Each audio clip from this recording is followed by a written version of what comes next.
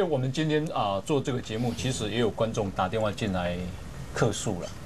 怎么了他说都同领同样的钱，他讲很多，你讲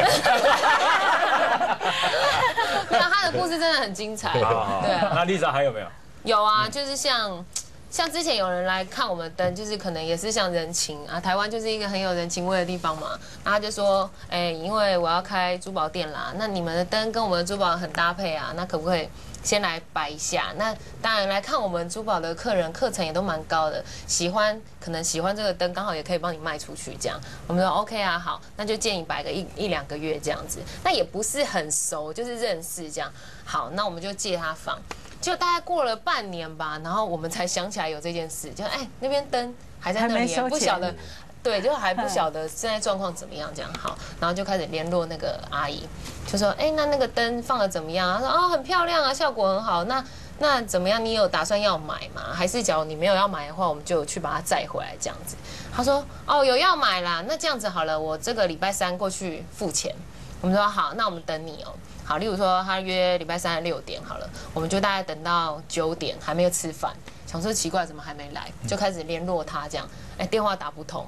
OK，好吧，那明天再打好了。然后明天打啊，不好意思啊，我昨天有事，所以不然我这个礼拜五去好了。那那大概几点？呃，差不多下午三四点，好不好？我下午三四点过去。啊，好好好。然后就大概礼拜五到了，下午三四点没有人，又等等等等到九点要等店要打烊了，就打打电话又打不通，啊，怎么又来这样子？好，然后隔天再打，哎也打不通，再打。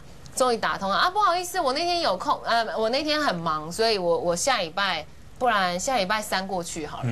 好，又来，就是一而再再而三这样放鸽子，大概四五次吧。有一次我们终于打电话，哎，你们你不要这样子啊，一直放我们鸽子。那那我们到底什么时候可以你方便过来，还是我们过去好不好？哎，你是怎样啊？你们是讨债公司是不是啊？我是欠你一两百万是不是？你们收钱这样子收的哦、啊？我就说我会过去啊，就这几天比较忙啊。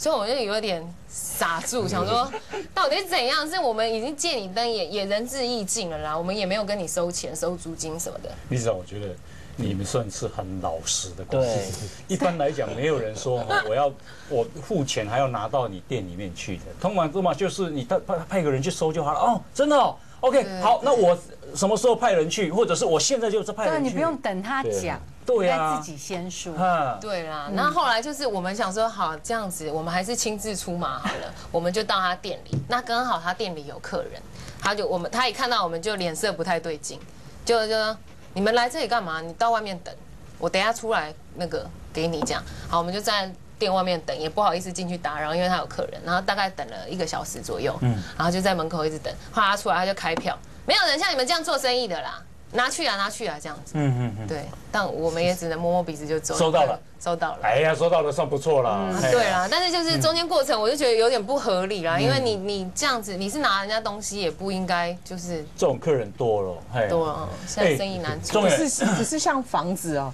金额都那么大，对那个那个纠纷就很恐怖了。那很可怕。刚才讲了半天，其实优良厂商还有 OK，啊，这两个这个优良厂商对哦。其实房子房地产的买卖其实很好笑，就是买方也是 OK，卖方也是 OK。嗯嗯嗯，因为比如如果房仲业来说的话，卖方卖方不会想房房子卖便宜嘛，买方绝对不会想多一块钱嘛，那有的搞啦。我觉得房仲业业最怕碰到什么客人呢？就是说你在中间啊穿梭引线，是好带他看房子，不断的这个讨论，结果呢要成交的时候是他们两个对他们两个人直接去找你，这这种。这种其实现在有很多，尤其是很多对不对？而且是尤其是那种大笔的，嗯嗯，你那种整栋办公大楼的企业跟什么一般的房子的话，大概也还好，就之前已经已经有一些官司打过了啦，所以说现在消费者不太敢去干这种事情。我干嘛给中介赚？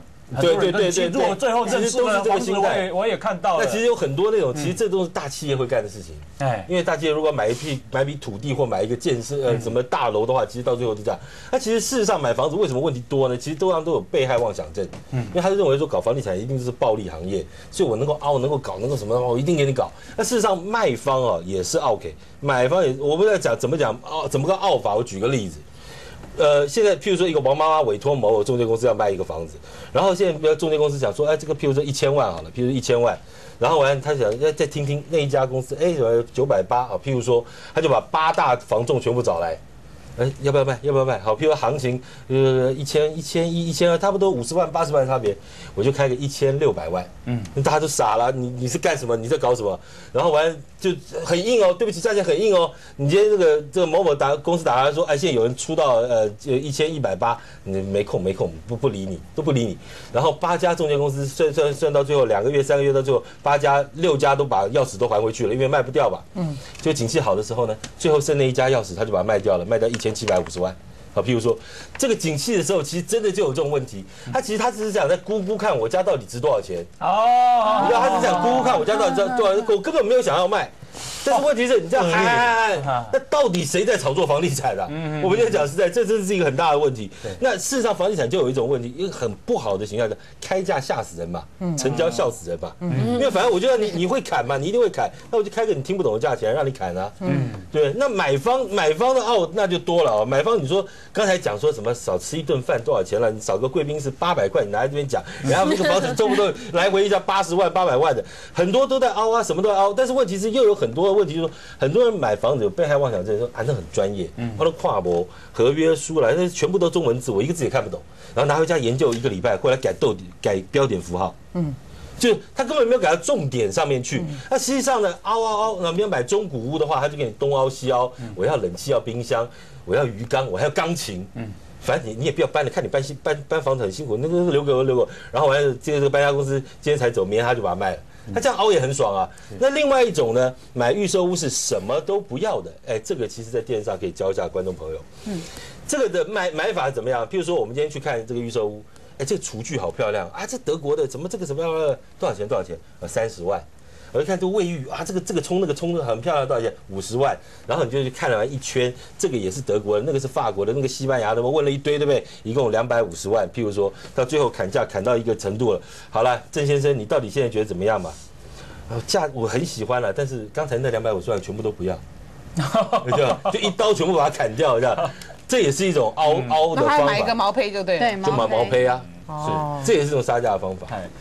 仲远听说这个去买过机票，后来发现别家比较便宜。对，哎，阿酱你也要熬，那是 真的就是成就感。的问题。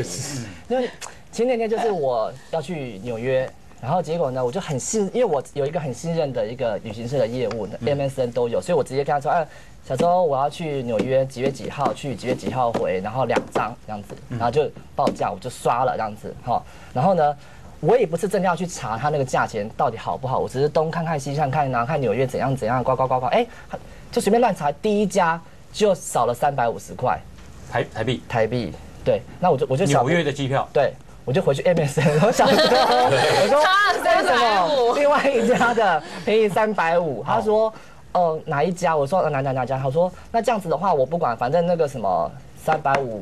就算在你身上了，要还给我，然后两张就是七百块这样子。嗯，然后我跟小他就说，那我要跟我的那个上面的人讲这样子，那上面人就说不行，你今天怎样怎样怎样。我就说，我跟 后来。你这样讲，我真的有点汗颜呢。嗯，就是我，我怎么会为这个钱去 这个？你们是纯粹讲成就感吗？不是为了成就感。你们每一个人点都是这样子。好，我觉得我支持你，我支持你。因为好，我我的点在哪里？因为你已经跟这家长期买了。对，我信任他。我连比都没有比价，我就直接问你了。那怎么可能？就是我随便看一家就比你便宜三百五，所以只是三百五。因为你会这样联想到以前，是不是你不要多赚了？我多少个三百五？对。然后我就说，我就跟他我说什么什么组长好，我说这不是小周的问题，然后这是。怎样怎样？我要我不能害到他。我说不是小周的问题，是怎样怎样。我说小周没有权限，小周没有权限。我说我要把那三百五要求退回来这样子。嗯结果那个那搞了好久这一次，可是到最后还是没有退。因为搞了多久？也大概也是一个下午啦，嗯啊一个晚上啦，嗯然后都没有退这样子。然后我想说啊，看小多份上我就算了，我就但是我而且说说实在我我也真的有点累了。累了，七百块，想一想八点，酸了，因为我没有什么理由好讲，就是已经讲完了这样子。你也会累哦，会。不过有次像我我我讲次看房子，我去看房子，真的很好玩的。对对休息一下。哇，也到最后你好像都闹到总公司去，因为前线的真的没有权限呐。对啊，所以你不要问他权限不大。